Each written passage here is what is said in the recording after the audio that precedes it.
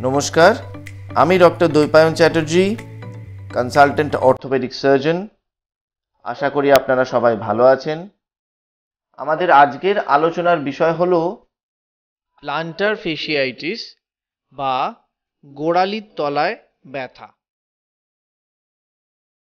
গোড়ালির তলায় ব্যথা হওয়া খুব কষ্টদায়ক জিনিস। এবং এই গোড়ালির তলায় ব্যথা হওয়ার সবচেয়ে কমন কারণ হলো প্লান্টার ফেসিয়াইটিস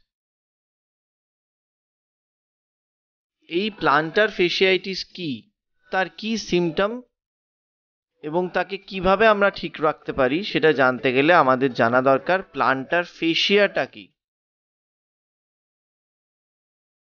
আমাদের পায়ের তলায় চামড়ার নিচে একটা পর্দা থাকে। এই পর্দাটা পায়ের গোড়ালির হাড় থেকে পায়ের আঙুলের হাড় অবধি এক্সটেন্ড করে। যার নাম প্লান্টার ফেসিয়া যখন আমরা হাঁটাচলা করি, এই পর্দাটা আমাদের পায়ের তলায় শক অ্যাবজর্বারের কাজ করে এবং আমাদের পায়ের আর্চটাকে মেনটেন করতে হেল্প করে।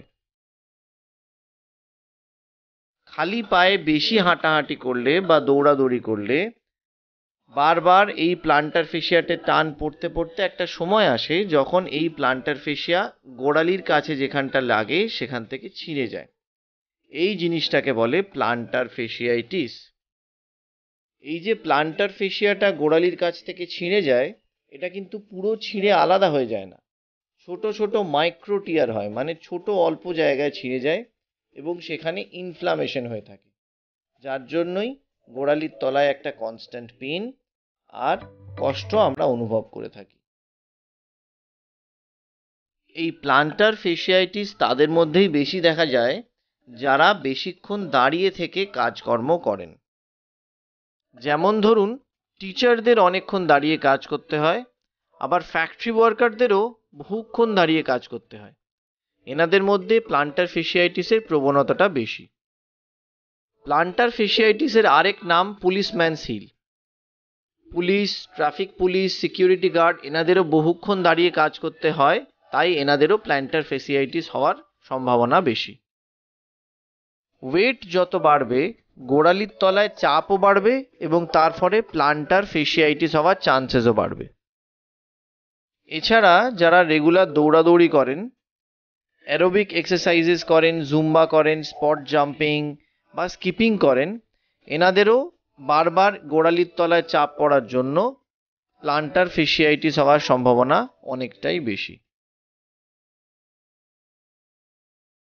পায়ের পাতার কিছু জন্মগত, গঠনমূলক অ্যাবনর্মালিটিতেও কিন্তু দেখা যায় যে প্লান্টার ফেসিয়াইটিসের চান্সেস বেড়ে যায়।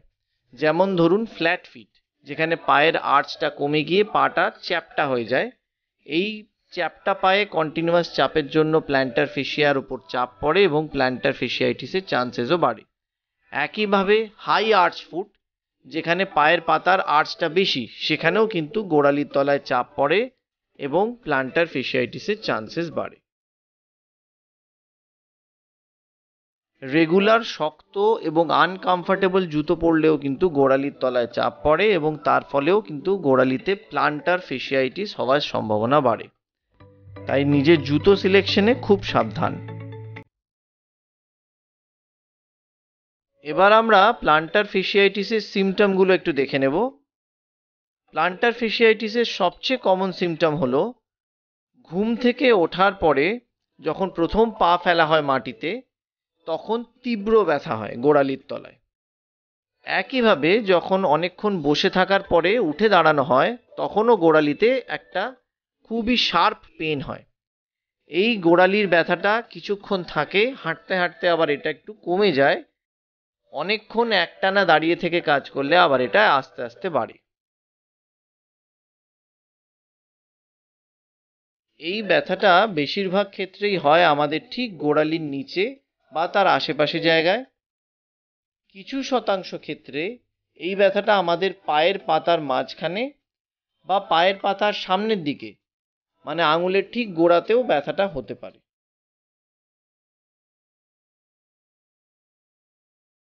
পায়ের পাতার এক্স রে করলে কখনো কখনো গোড়ালির তলায় এইরকম ছুঁচের মতো হাড় বাড়া দেখা যায়। কিন্তু মনে রাখবেন, এই হিল স্পার বা হাড় বাড়া কিন্তু প্লান্টার ফেসিয়াইটিসের সাথে রিলেটেড নয়। প্লান্টার ফেসিয়াইটিস থাকলেই যে এরকম এক্স রেতে হাড় বাড়া থাকবে তাও নয়। আবার হাড় বাড়া থাকলেই যে গোড়ালির তলায় ব্যথা হবে এটাও নয়। কাজেই আপনার এক্স রেতে যদি গোড়ালির তলায় হাড় বাড়া থাকে, তাহলে বিন্দুমাত্র ঘাবড়াবেন না। যদি তার জন্য কোনো সিমটম হয়, যেমন গোড়ালির ব্যথা, তাহলে আপনার নিয়ারেস্ট ডক্টরের পরামর্শ নিন। রিসার্চে দেখা গেছে যে ডায়াবেটিস বা রক্তে চিনির মাত্রা বেশি থাকা এবং ইউরিক অ্যাসিড মানে রক্তে ইউরিক অ্যাসিডের মাত্রা বেশি থাকলে গোড়ালির তলায় প্লান্টার ফেসিয়াইটিস হওয়ার সম্ভাবনাও বেড়ে যায়। কাজেই প্লান্টার ফেসিয়াইটিসকে কন্ট্রোলে রাখতে গেলে নিজের সুগারের মাত্রা এবং ইউরিক অ্যাসিডের মাত্রাকে কন্ট্রোলে রাখুন।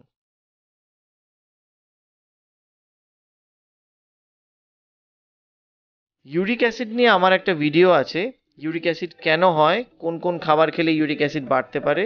আর ইউরিক অ্যাসিড থাকলে কোন কোন খাবার খাওয়া উচিত? তো আপনারা এই ভিডিওটা সময় করে দেখে নেবেন।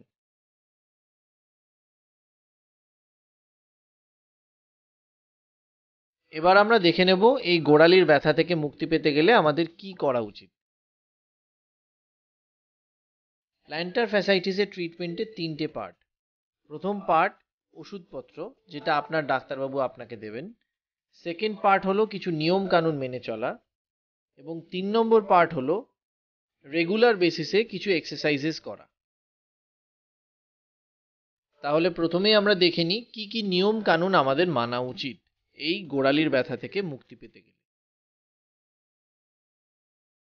গোড়ালির ব্যথা যদি কম রাখতে চান, তাহলে খালি পায়ে হাঁটা বন্ধ করতে হবে। ঘরে, বাইরে, এমনকি বাথরুমেও যেতে গেলে নরম সোলওয়ালা চটি বা জুতো বা সিলিকন হিল পরেই হাঁটাচলা করতে হবে। তাই জুতোর দোকানে গিয়ে একদম নরম মেমরি ফোম দেওয়া জুতো কিনে নিন। এবং সেটা পরে হেঁটে দেখে নিন যে সেই জুতো আপনার জন্য নরম হচ্ছে কিনা। সিলিকন হিল বলে এক প্রকার একদম নরম হিল পাওয়া যায় জুতোর দোকানে বা বিভিন্ন অনলাইন শপিং প্ল্যাটফর্মে। এই সিলিকন হিল আপনি আপনার জুতোর মধ্যে লাগিয়ে নিতে পারেন এবং সেটা নিয়ে হাঁটাচলা করলে গোড়ালি একদম প্রোটেক্টেড থাকবে। গোড়ালি ব্যথা কম রাখতে গেলে নিজের ওজন কমান। যত ওজন আপনার বেশি হবে, তত গোড়ালির ওপর চাপ পড়বে এবং গোড়ালিতে ব্যথা করবে। তাই ওজন কমান ডায়েটিং করুন আর ফিট থাকুন।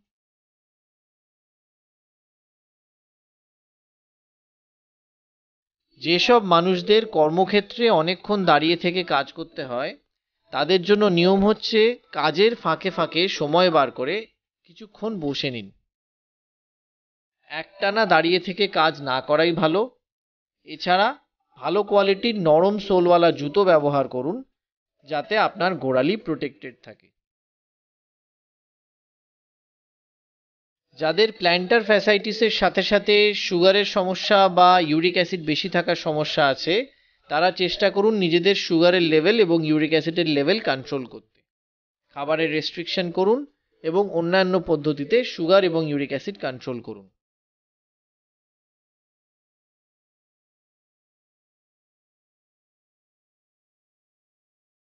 যাদের গোড়ালির ব্যথা একদম রিসেন্টলি শুরু হয়েছে, তারা গোড়ালিতে বরফের শেক নিন।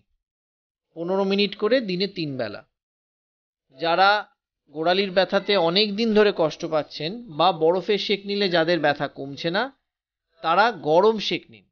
গোড়ালিটাকে একটা গামলার মধ্যে গরম জল করে তার মধ্যে ডুবিয়ে রাখুন। পনেরো মিনিট, দিনে তিন বেলা। দেখবেন এই শেক নিলে গোড়ালির ব্যথা থেকে অনেকটাই উপকার হবে।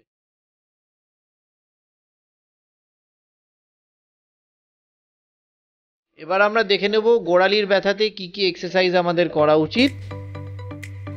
প্ল্যান্টার ফ্যাসাইটিসের ফার্স্ট এক্সারসাইজ হলো টাওয়েল রিঙ্কল পায়ের তলায় একটা ছোট তোয়ালে মেলে নিন, তারপর পায়ের আঙুল দিয়ে সেই তোয়ালেটাকে ধীরে ধীরে গোটানোর চেষ্টা করুন। এইভাবে।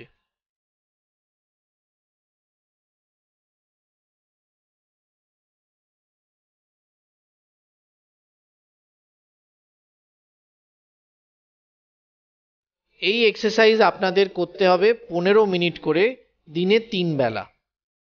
তবেই এই এক্সারসাইজের ভালো ফল আপনারা পাবেন। নেক্সট এক্সারসাইজ হলো আর্চ রোলিং এর জন্য দরকার একটা জল ভর্তি বোতল। যদি আপনারা ঠান্ডা সেক নিলে আরাম পান, তাহলে ঠান্ডা জলের বোতল হতে পারে। যদি গরম সেক নিলে আরাম পান, তাহলে গরম জলের বোতল নেবেন। এই বোতলটাকে পায়ের তলায় রোল করুন, পনেরো মিনিট করে দিনে তিন বেলা। বোতলের বদলে যদি কোনো সিলিন্ড্রিক্যাল রোলার থাকে, সেটাও ব্যবহার করতে পারেন।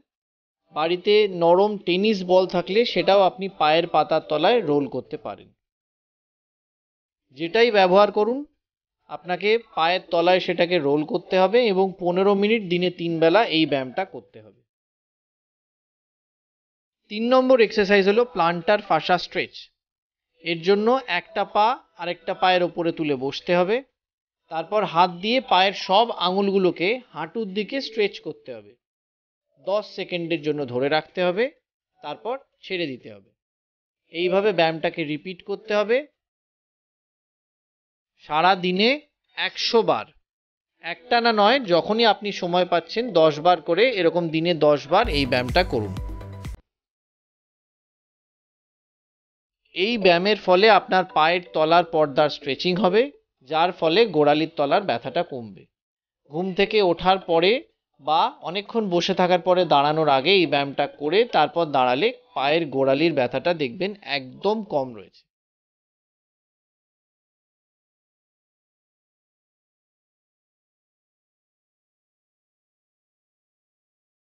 ফোর্থ এক্সারসাইজ হলো কাফ টাওয়েল স্ট্রেচ মানে টাওয়েল দিয়ে নিজের কাফ মাসেলে স্ট্রেচিং করা।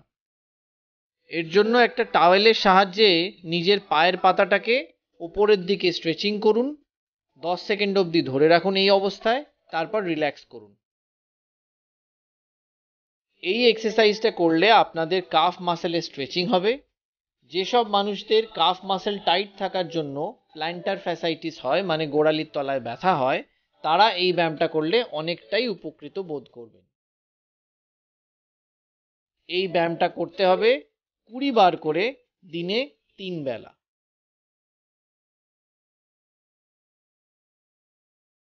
টাওয়েলের বদলে কোনো দড়ি বা এক্সারসাইজের টেনশন ব্যান্ড দিয়েও এই এক্সারসাইজ করা যেতে পারে।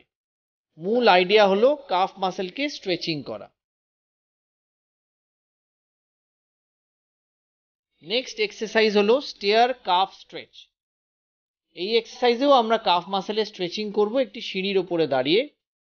যেই পাটার কাফ মাসেলের স্ট্রেচিং করতে চান, সেই পাটার অর্ধেকটা সিঁড়ির বাইরে ঝুলবে। একবার আমরা চেষ্টা করব গোড়ালিটাকে নিচে সিঁড়িতে ছোঁয়ানোর, তারপরে আবার উঠে যাব। আবার নিচে সিঁড়িতে ছোঁয়ানোর, তারপরে উঠে যাব। এই রকমভাবে ব্যায়ামটাকে আমাদের রিপিট করতে হবে কুড়ি বার দিনে তিন বেলা।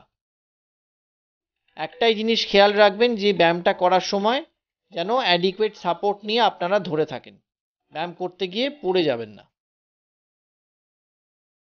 নেক্সট এক্সারসাইজ হলো স্ট্যান্ডিং হিল রেস মানে দাঁড়ানো অবস্থায় গোড়ালিটাকে একবার ওপরে করতে হবে, একবার নামাতে হবে। একবার ওপরে করতে হবে, একবার নামাতে হবে। এইভাবে সারা দিনে একশো বার এই ব্যায়ামটাকে রিপিট করতে হবে। একটানা এই ব্যায়ামটা করার দরকার নেই, একটানা দশ বার করবেন। এরকম দিনে দশ বার রিপিট করবেন, তাহলেই সারা দিনে একশো বার এই ব্যায়ামটা হয়ে যাচ্ছে। নেক্সট এক্সারসাইজ হলো স্ট্যান্ডিং কাফ স্ট্রেচ এর জন্য দেওয়ালের দিকে মুখ করে দাঁড়াতে হবে। যে পাটা স্ট্রেচিং করবেন, সেই পাটা থাকবে পেছন দিকে। হাত দুটো দিয়ে দেওয়ালের ওপরে ভর করে দাঁড়াবেন। যে পাটা স্ট্রেচিং হবে, সেই হাঁটুটাকে সোজা রাখতে হবে। আর সামনের হাঁটুটাকে ভাঁজ করে আস্তে আস্তে দেওয়ালের দিকে নিজের শরীরের ভরটা দিতে হবে। এইভাবে।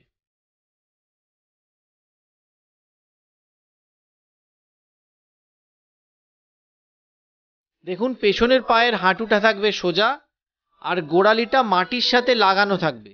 গোড়ালিটা মাটি থেকে তুললে কিন্তু কাফ মাসেলের স্ট্রেচিং হবে না। অন্যদিকে সামনের হাঁটুটা ভাঁজ করা থাকবে এবং শরীরটা দেওয়ালের এগেনস্টে লিন করে থাকবে। এই পজিশনে দশ সেকেন্ড হোল্ড করলে আমাদের কাফ মাসেলের স্ট্রেচিং হবে এবং তার ফলে গোড়ালির তলার ব্যথাটাও কমবে। দশ সেকেন্ড এইভাবে হোল্ড করার পরে রিল্যাক্স করুন, তারপরে এই ব্যায়ামটাকে রিপিট করুন। কুড়ি সেট দিনে তিন বেলা এই ব্যায়ামটা করতে হবে।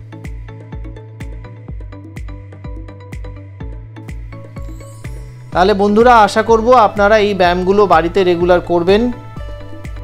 কারুর কোনো কোয়ারি থাকলে বা কোনো অসুবিধা হলে আমাকে কমেন্ট সেকশনে জানাবেন। আমি যথাসাধ্য চেষ্টা করব রিপ্লাই দিতে।